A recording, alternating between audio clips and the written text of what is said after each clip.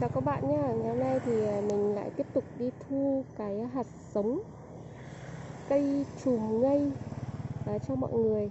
À, Trùm ngây thì à, có tác dụng rất là tốt cho sức khỏe. Thì à, khi mà các bạn à, mua cái hạt giống cây trùm ngây như này về thì các bạn trồng thì chúng ta sẽ thu hoạch rau để ăn rất là tốt cho sức khỏe nhé Bây giờ mình sẽ cho mọi người đi à, thu hoạch cái hạt giống cây trùm ngây nhá khi mà hạt giống cây trùm ngây mà đạt tiêu chuẩn nó đã chín thì nó sẽ chuyển sang màu như này.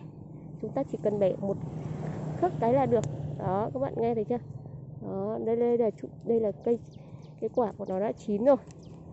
Còn những cái quả xanh như này thì à, cái hạt chúng ta chưa thu được mọi người nhé Kìa, đây là những cái lá và mầm, mầm non để chúng ta thu để để về nấu canh uống cho tốt cho sức khỏe nhé đây mọi người nhìn này đó một cái cây. Đây là cây trùng ngây to rồi. Đó. đây này. Đây là lá của trùng ngây này mọi người. Nếu mà ai chưa biết cái lá trùng ngây thì nó như thế nào thì nó như này này. Đó, anh chị em nào mà có nhu cầu mua hạt giống rau trùm ngây thì cứ liên hệ với em nhé ba tên nhà vườn.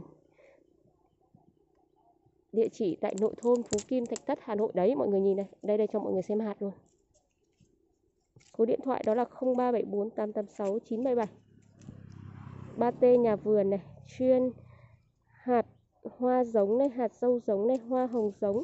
Các loại mọi người nhé anh chị em nào mà có nhu cầu mua thì à, hạt giống này, dâu giống hoặc là hoa giống thì vui lòng liên hệ em. Ba t nhà vườn đây đây hạt giống của nó như này. Đây, mọi người nhìn thấy chưa? Đó. Đây. Đó, em đi chi tiết cho mọi người.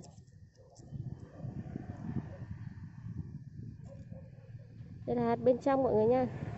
Đó. À, xin chào và hẹn gặp lại các anh chị em tại nhà